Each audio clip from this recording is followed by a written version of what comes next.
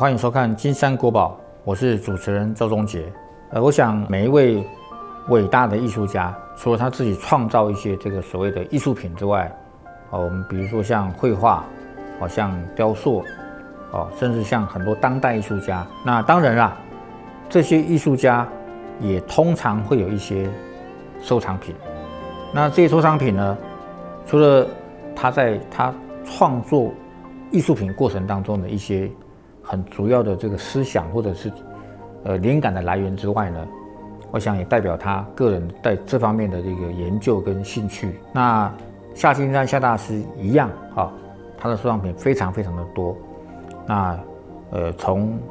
这个唐宋元明清啊一直到现在都有，不管是我们讲的佛像，呃我们讲的一般的这种宫廷里面的官窑，包罗万象，非常的多。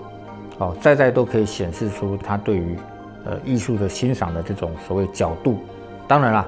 也透过这些收藏呢，我们可以了解到，其实夏老师在画作之余呢，对于古物的这种理解哈，有很深的见地。比如说像画佛像的人，大概他会收藏的就是佛像，但夏老师，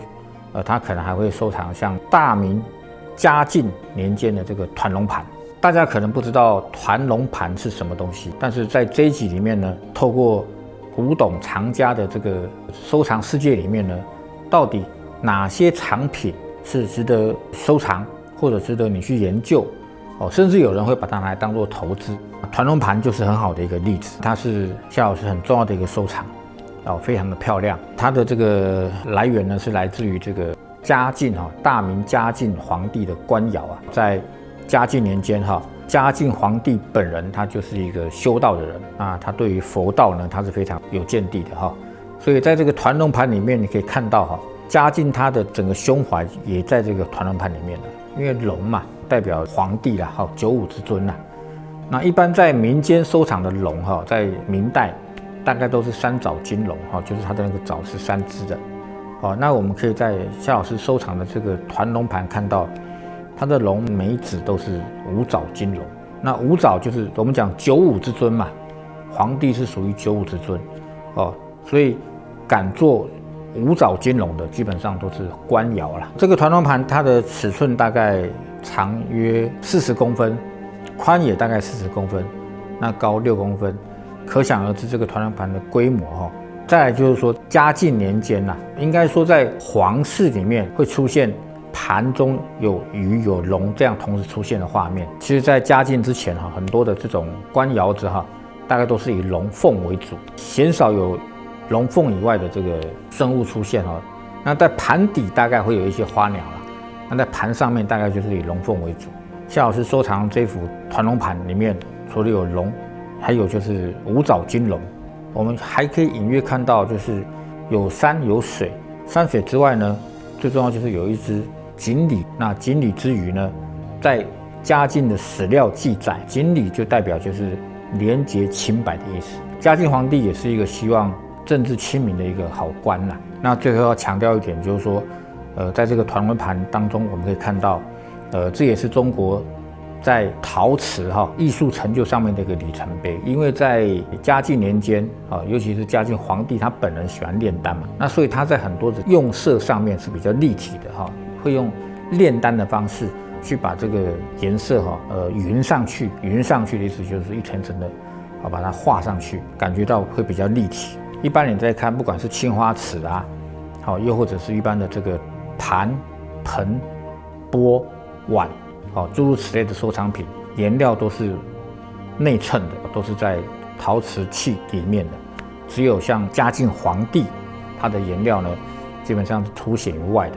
这个团龙盘哈，这个龙的眼睛啊，龙的爪啊，哦，都是突出的。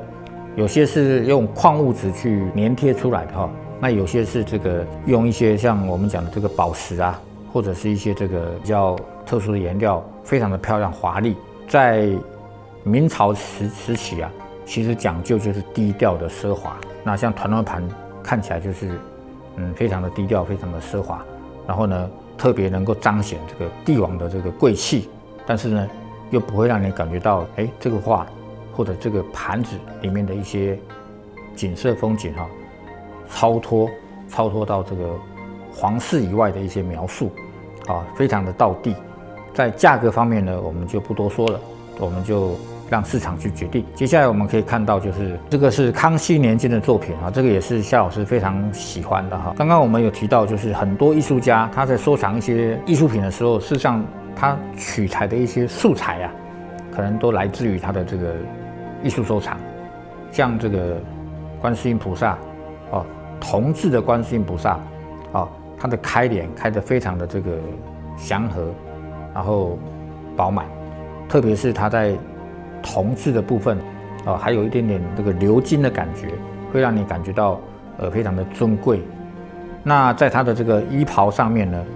呃，大家可以看到，其实这个是在康熙年间特有的哈，就是说，呃，衣袍开始它的这个整个用铜制的上面呢，开始有一些皱褶，而且这个皱褶呢非常自然，哦，你看不出来，远远看还以为是木雕啊。其实它是铜制的，啊这个非常的困难，在技术上突破了，哦，就是在康熙以前大概没有这样的技术，以后这样的技术慢慢的衍生出来，所以现在很多的这个铜制的艺术品非常的细致，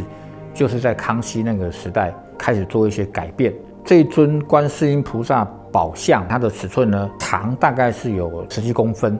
哦，那宽大概有二十二公分，那高大概有五十五公分。也算是一个小小的、小有规模的一个作品哈，非常值得收藏，价格当然也不菲啦，因为它在很多地方都呈现出非常尊贵典雅，也能够体现在呃夏老师某些观音画作上面的一些呃高贵跟慈祥，还有接地气。接下来呢，在当代的这个东方艺术的收藏品当中，被炒作的非常非常的热闹滚滚哈，就是只要你有收藏东方艺术品的，大概。一定要收藏一些青花瓷，否则你，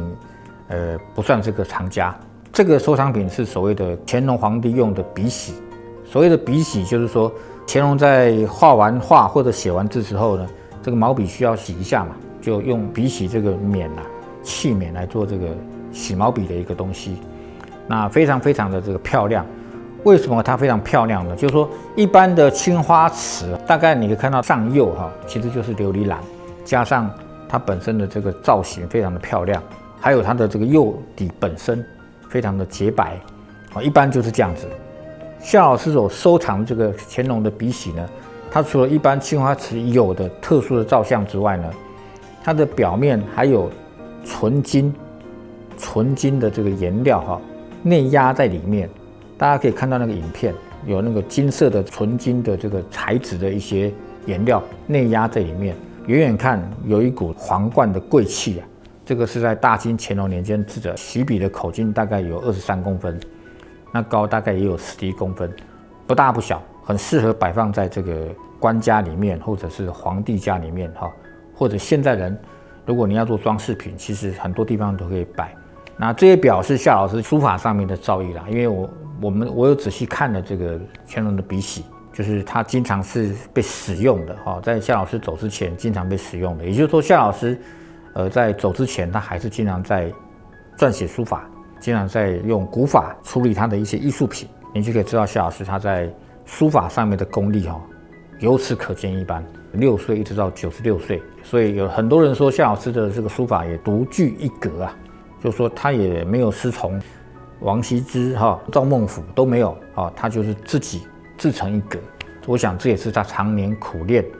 透过这些器皿的协助，让他能够在绘画书法上面，哦，成就高于一般人的这个重要原因之一。好，我们先休息一下，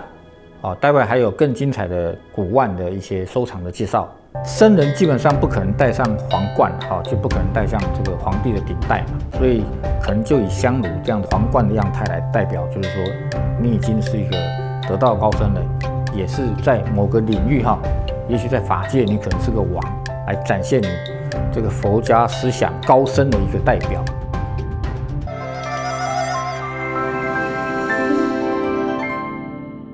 欢迎回到金山国宝，我是主持人赵忠杰。接下来要为大家介绍的是夏金山夏大师非常殊胜的一幅他的收藏，啊，叫做白度母。我们知道，在藏传佛教里面呢，有一些比较重要的这个风格跟学派，比如说我们讲大致上分可以分为三类，好，一类叫做这个喜马拉雅学派，它的造像呢，呃，比较有点类似像我们的这个所谓敦煌里面那种造像啊，有点类似哈。这个是我个人的见解。第二个叫做克什米尔学派，啊，克什米尔学派呢，它就比较饱满，没有像喜马拉雅学派啊那么的这个多变啊，有那么多种的可能性。啊，第三个就是尼泊尔学派，那尼泊尔学派在运用上面呢，哦，它的鎏金运用就稍微比较少，哦，它的铜质纯铜质宝石运用比较多。那各个学派有各个学派不同的这种风格跟它的一个造像。那今天我们看到的这幅，就当下我们看到这幅是白度母，它也是在乾隆年间由宫廷匠人他们制作的。为什么说宫廷匠人哈？就大家可以在看，呃，其实像这样的佛像非常的多，有的是古董。有的是现在做的，那当然夏老师以他的年纪，那他的收藏当然就是那个时候他跟大宝法王哈，跟达赖喇嘛他们都有一些这个交集跟交流，好，所以在文物上面的交流肯定是古董。那除此之外呢，就是说我们可以看到他收藏的每一尊这个佛像，好，尤其是密宗哈，它的底部啊都会有封顶，可能是石像花，好，也可能是一块就是。黄色的布，然后上面再盖个印哈，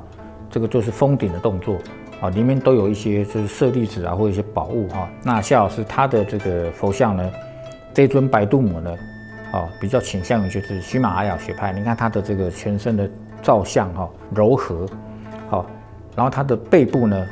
哦，它的鎏金啊非常的漂亮，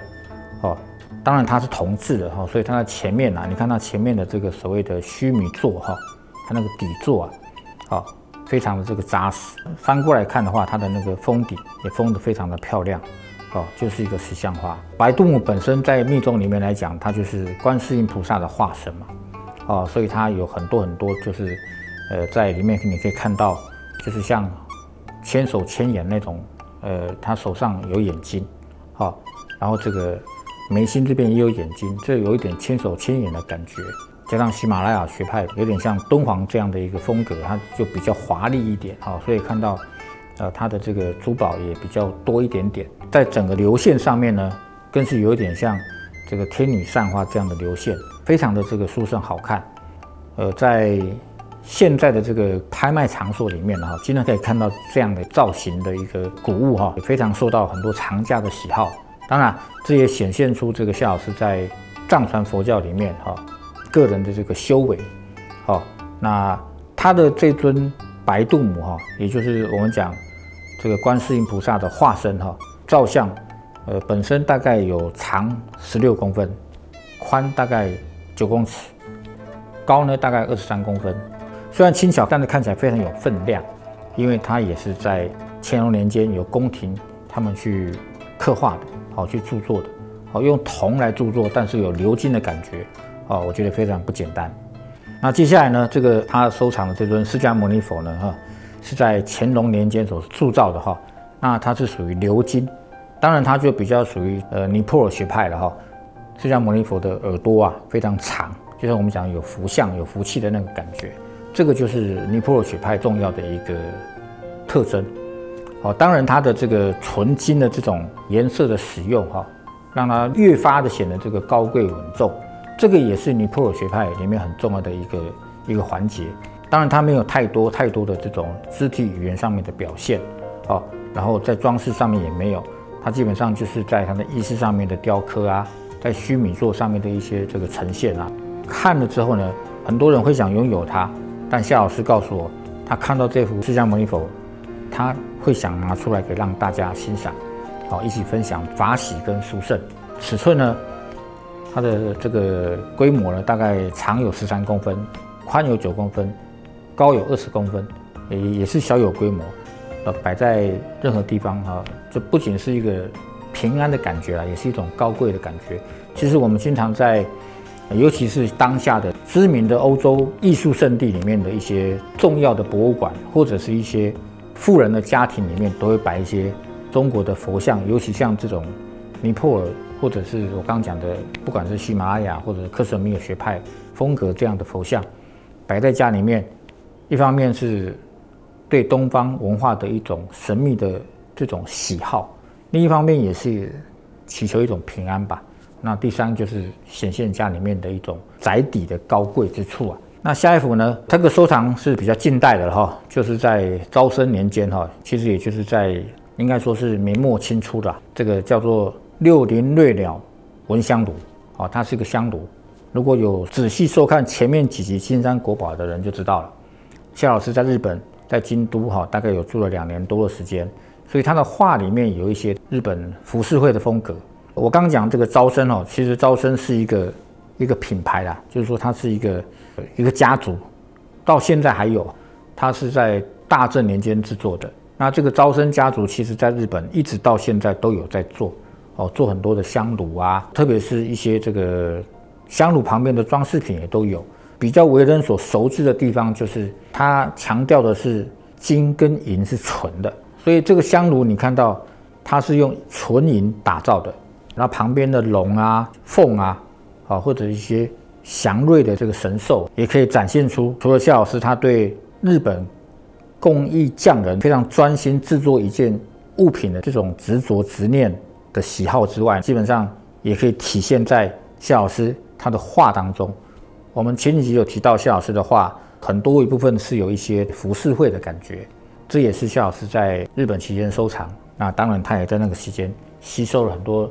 呃，东洋的文化就是日本的文化，也放在他的画里面，所以他的画非常的多元。最后一件非常重要的一件这个收藏，大明宣德年间制作的哈，一般推测哈，因为它的这个氧化跟氢化的这个样态哈，应该就是在大明宣德年。那它的样态有点像皇冠，这个香炉的样态有点像皇冠，而且是由八个菩萨环绕。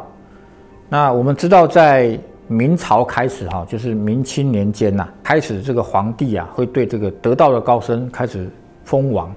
哦，比如说我们熟知的大宝法王哈，第几代几代，就是从明代开始的哈，因为明代我们知道嘉靖皇帝他本身就是个佛道之人嘛，哦，那在这幅作品当中呢，就可以体现出在那个年代，其实皇帝对得道高僧封王。僧人基本上不可能戴上皇冠，哈，就不可能戴上这个皇帝的顶戴嘛，所以可能就以香炉这样皇冠的样态来代表，就是说你已经是一个得道高僧了，也是在某个领域哈，也许在法界你可能是个王，来展现你这个佛家思想高深的一个代表。我们讲应该是